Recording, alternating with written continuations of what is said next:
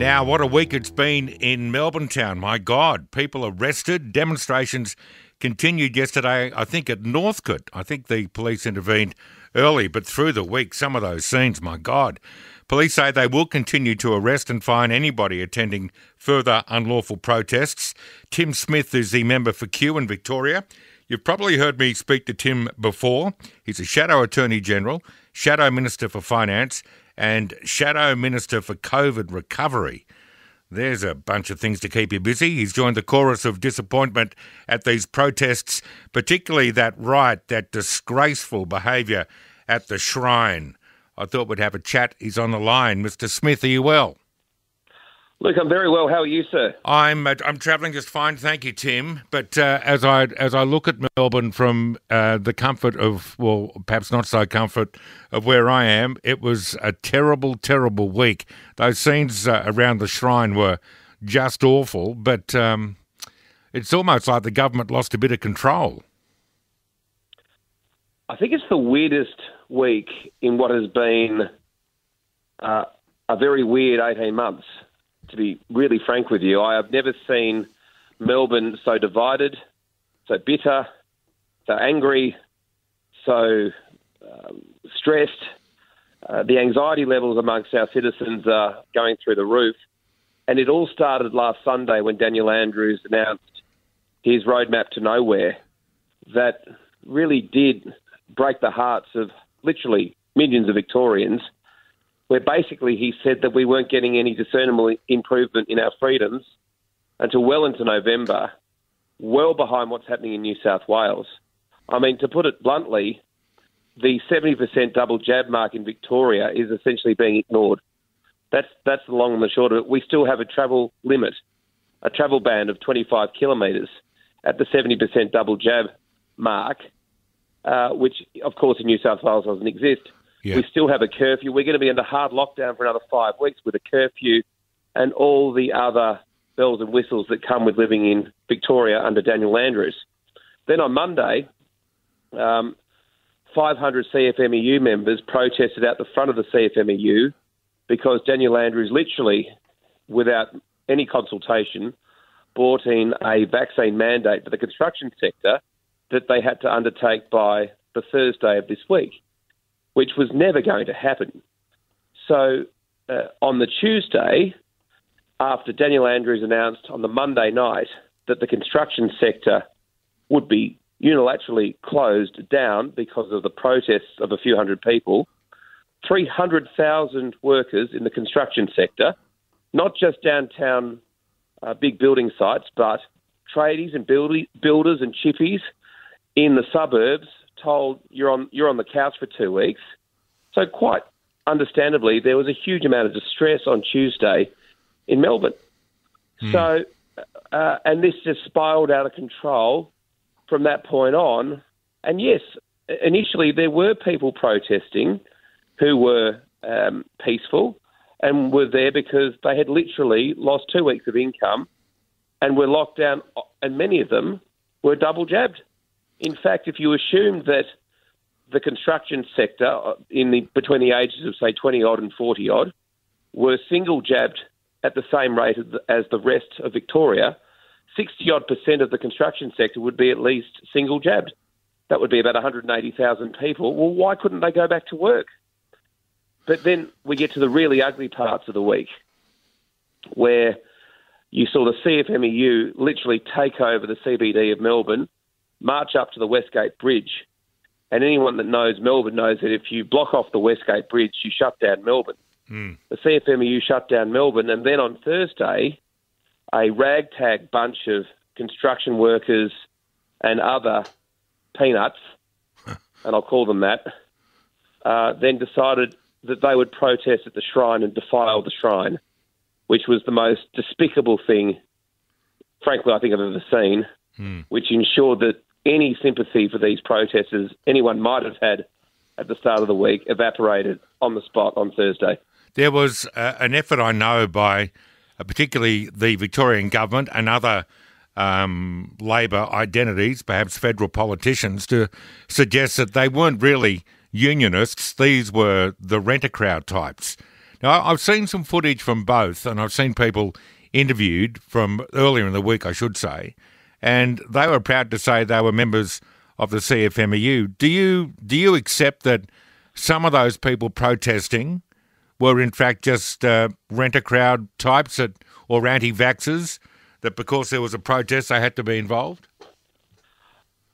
Monday, Tuesday, Wednesday, there's absolutely no doubt in my mind that the CFMEU were the dominant force behind the protests.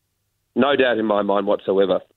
Whether or not the CFMEU leadership was involved, I have no idea. But the on the ground protesters were absolutely members of the CFMEU, and that has been um, that has been verified by multiple sources, both on the ground, in the media, and from the Labor movement. I don't care what the, the ACTU or any federal Labor politician tries to spin. It was the CFMEU, and as Ben Schneiders in The Age wrote quite brilliantly earlier this week, that there is a hard right faction within the CFMEU. And, you know, you just have to have a little bit of nuance in your understanding of the union movement in Melbourne to know that, which a lot of these commentators in the ABC and other parts of the country have no idea about, to be frank. Mm. But as the week wore on, it would be fair to say that the construction workers went home and a strange group of anti vaxxers and other um, oddbods joined the fray. And uh, that was, I think, the majority of the people Yeah. that ended up and who were who were you know arrested in you know, suburban parks in Northcote today, for example. Yeah. What What's the way out of this? What's the way out of this? The way out of this is for Daniel Andrews to give people some hope, to consult with industry. If you're going to bring in draconian rules overnight, um, consult with industry, consult with members. You know, look, look at the difference between New South Wales and Victoria in the construction industry. New South Wales have had some pretty tough rules with regards to, const- to the construction industry. They said that building sites with unvaccinated workers could only be at 50% capacity. That's a pretty strong message to the sector that the government wants you to get vaccinated Hmm. without using a sledgehammer. But in Victoria, no, Chairman Dan uses a sledgehammer and look at the result. So the construction sector returns to very, well, not quite back to normal, but getting back to normal on Monday. There are still 12 LGAs where uh, uh, workers will have to be vaccinated if they're going to be on site. But by and large, construction's going to get back to some sort of normality in Sydney on Monday. Yeah. In Victoria, they're locked down for two weeks. Well, this is not sustainable. Uh, the construction sector is vital to Victoria's economy. And equally, Daniel Andrews' roadmap, the curfews, the lack of hope. You know, we still we have a curfew tomorrow night, and our grand final's being played in Perth. You know, we want some family time. We want some time with friends and family just to watch the grand final, which we're being denied yet again. Yeah. So we want to give people hope. We want to give people hope. We want to give people an opportunity that uh, to think about not just more lockdowns, but a future that can get Victoria back to normal, back on track, back with family, back with friends, back growing again. And at the moment, Daniel Andrews is just giving us doom and gloom. Yeah, um, too easy for some of these leaders just to say no to everything and shut everything. It's actually, I think, uh, far more a challenge to find a way to get things or keep things going. And I, I think I know she's got her critics, but I think Berejiklian's done that uh, from time to time through all of this. Can I just touch on a, a few other issues? The earthquake on Wednesday would have been interesting had there been further widespread damage requiring uh, chippies, tradies, plasterers, and the like, and they were told they couldn't work. Whoa, where were you when the earthquake struck, and did you feel it? Didn't feel a thing. I was in my car driving from my electorate office in Kew to Parliament House. So uh, I didn't feel a thing. I did notice as I was driving to Parliament House that there were a lot of people out in the streets, and I couldn't work out what had occurred. And then I turned on the radio, and there was 3AW saying that uh, there'd been an earthquake. Yeah. So um, I wasn't particularly useful on those matters, but the, the simple fact was that what was a very weird week got even weirder with an earthquake in the middle of Melbourne. You, you didn't allow to allow yourself to think that all the people on the street were there cheering you on your way to Parliament. Not at all. You sure? I would never, You I would sure? never have the, I would never have these thoughts. Okay. I never have these thoughts, Luke. Not at all. Righto. Um, John Elliott, a, a giant, uh, a, a brilliant, a big Australian character, and I'm sure over the journey you would have bumped into him more than once. What are your memories of the man? John Elliott was a a huge figure in the Liberal Party in the 1980s and the 1990s. I mean, he made a he made a significant contribution to the election of the Kennett government in Victoria in 1992. He made a significant contribution to the election of the Howard government in 1996. Uh, look, he was part and parcel of Melbourne. My grandfather was a massive Carlton supporter. John Elliott was the president of the Carlton Football Club from 1983 to 2002.